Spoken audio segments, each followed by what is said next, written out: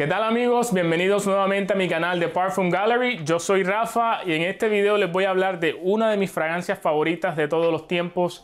Y sí, yo sé que son palabras mayores, pero se trata de Bat the Zoologist o por consecuente Night Flyer de la perfumista Ellen Covey con la marca Olympic Orchids. Entonces, ¿por qué me toca mencionar a las dos? Pues porque en realidad es la misma fragancia. Lo que pasa es que Bat, la versión original 2015 ya está descontinuada y esta versión de Olympic Orchids fue lanzada en este año 2020 por la misma perfumista. Al parecer no hubo un acuerdo entre la perfumista Ellen Covey y la marca Zoologist para seguir produciendo la fragancia y pues descontinuaron Bad de la marca. No obstante, Ellen Covey muy inteligentemente para mi opinión, porque creo que es una fragancia fantástica que no se puede dejar en el olvido, continuó su producción con su propia marca de Olympic Orchids. Yo inicialmente tenía la botella original de Bad no fue hasta hace unos meses que una, un miembro de uno de los grupos de Facebook en los que yo participo eh, hizo una publicación de que estaba loco por la botella original de Bad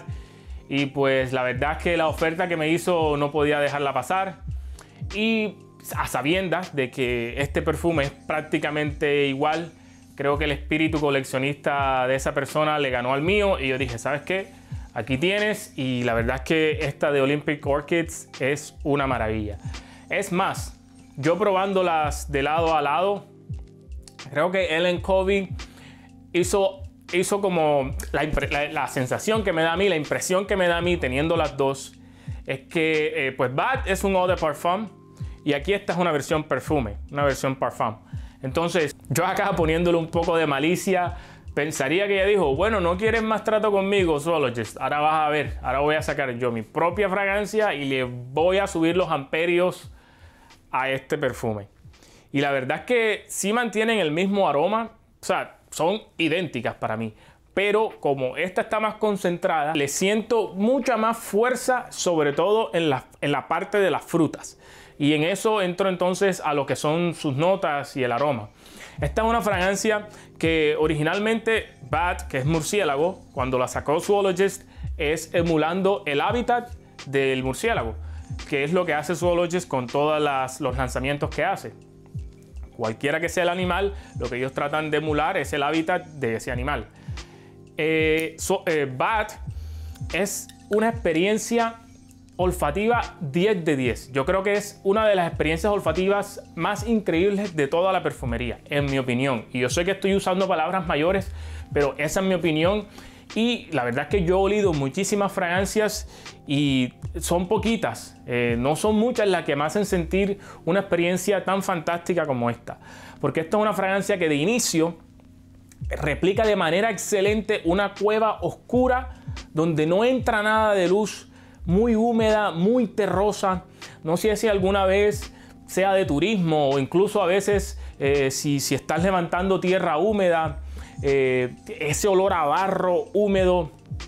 Pero aquí en, Night Flyer o en Bat es intensísimo, es una, es una salida bastante misteriosa que poco a poco va transicionándose en una parte de incienso. Estoy seguro que esa parte de tierra húmeda tiene que ser un acorde combinado con notas minerales, con una parte de incienso, porque de verdad es bastante terrosa, pero poco a poco pasando los minutos, se le va quitando un poco más esa parte terrosa y se va delatando eso que les digo que puede ser como una combinación de vetiver con incienso, con unas notas minerales que podría ser ambroxan que hacen esa corte de tierra húmeda.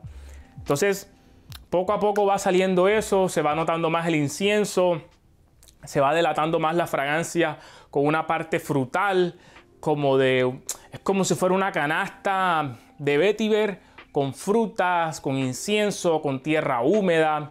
Tiene una parte, un poquito de cuero, una parte resinosa también, una parte de almizcle, de base. Pero eso no pasa en 5 o 10 minutos, no, eso, eso es toda una evolución de la fragancia. De hecho, esto es una bomba. Eh, se siente tan intensa. O sea, la fragancia proyecta tanto y dura tanto que su transición no, o sea, es difícil no admitir es difícil no darse cuenta lo bien que está transicionando el aroma. O sea, no hay necesidad a veces ni... A, mí, yo no tengo que, olerme la, parte donde me, donde me la fragancia. Yo simplemente, a medida que voy oliendo, yo digo, pero es que mira todo lo que huele esto ahora. Entonces, inicialmente es una parte terrosa eh, de salida. Al pasar los minutos y las horas, van saliendo más una parte inciensada va saliendo una parte resinosa, van saliendo unas frutas tropicales, pero unas frutas tropicales como si el murciélago eh, de alguna manera no fue que salió a la luz, sino como que de alguna manera llevó esas frutas a la cueva y las cuevas y, las frutas cayeron en el piso húmedo ya barroso y ese olor está allí. Eh, no voy a decir que frutas podridas, pero sí como eh, muy húmedas, no, no es una fruta tropical viva, eh, jugosa, es, es ese olor de fruta húmeda de fondo. Y luego sale también una nota de vetiver, entonces parece que fuera como que cayeron las frutas en, una canasta de vetiver, si se podría decir. Y está todo ese olor húmedo de tierra es una fantasía. Esto es una de las experiencias olfativas que para mí esta fragancia se sienta al lado del corazón del desierto, se sienta fragancia de Ursa, de Tiziana Terenzi, que es otra de mis favoritas. O sea, esto es de verdad lástima por su presentación, que es lo que más lamento de haber, eh, haberme deshecho de, de la original, su presentación, pero aquí nos dan un poquito más de concentración y a ver si de pronto Ellen Covey eh, saca una presentación en unos años que de verdad eh, como que entre más por los ojos. Pero como esta fragancia entra por las narices y luego a tu cerebro, para mí es un espectáculo y es una fragancia 10 de 10 sin duda. Entonces, esta fragancia, a pesar de tener un fondo como de frutas, de, parece como de banano, de higo, un tema de frutas tropicales, parece una parte como de piña, es como un cesto, una canasta de frutas pero a pesar de esa parte frutal, es una de las fragancias más sexys, de las fragancias con que más cómodo me siento de toda mi colección. Porque obviamente esto no te va a oler a Dior Sauvage o a Hugo Boss o a ese aroma de diseñador que es muy común.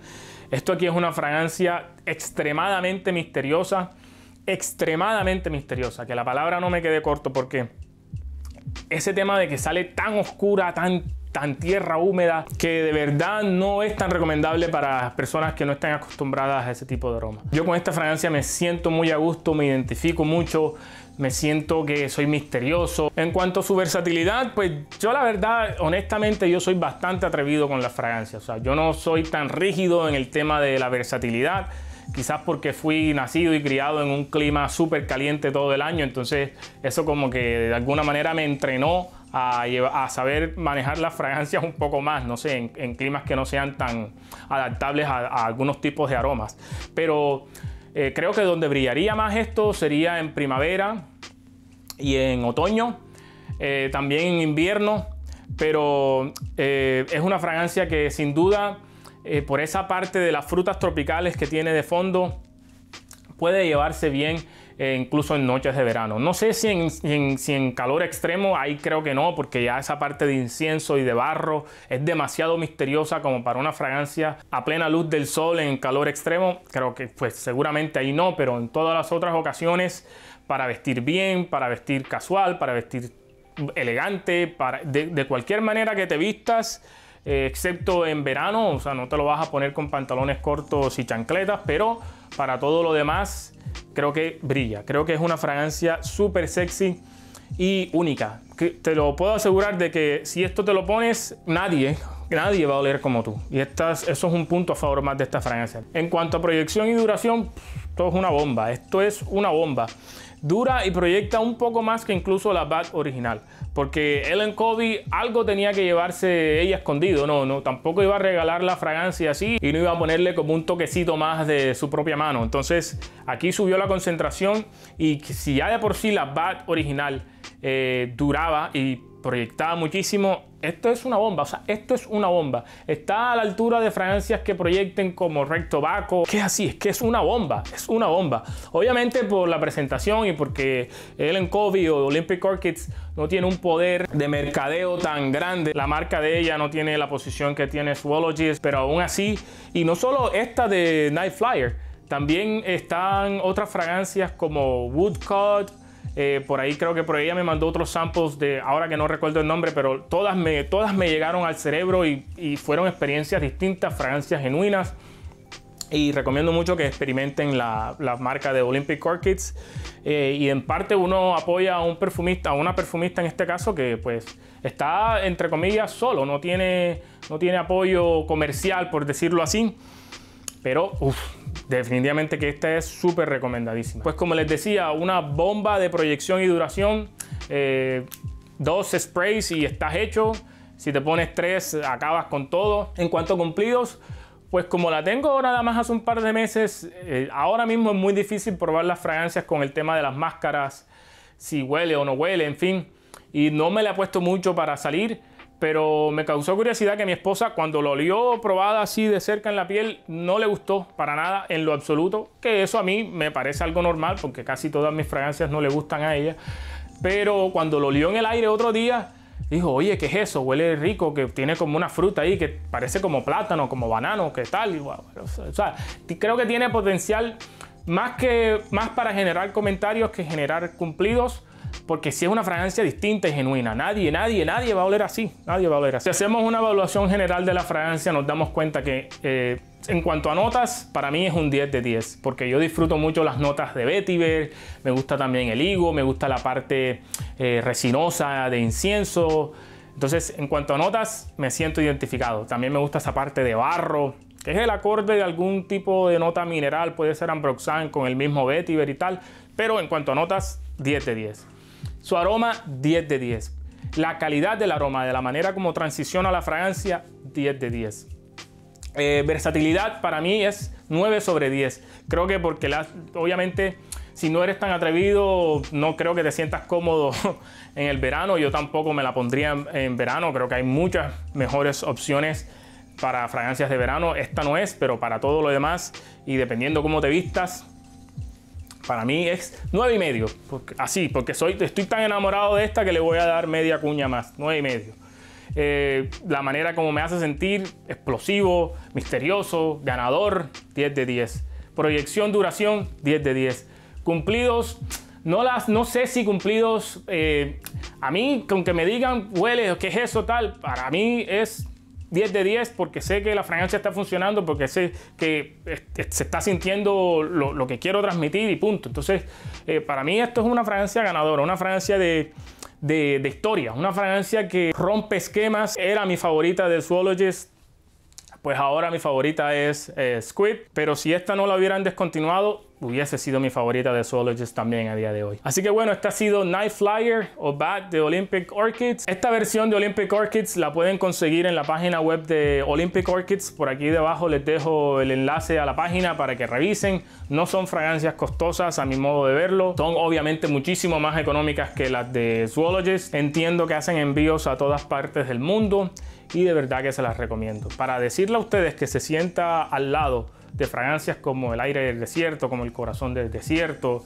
como Ursa de Tiziana Terenzi, que es otra de mis fragancias favoritas, es porque de verdad es una maravilla. Así que bueno, me gustaría saber si han probado la Bad original o incluso esta, cuál fue su experiencia o cuál es su fragancia favorita del Zoologist. Y sin nada más que decir, gracias por estar aquí y nos vemos en el próximo video. Chao.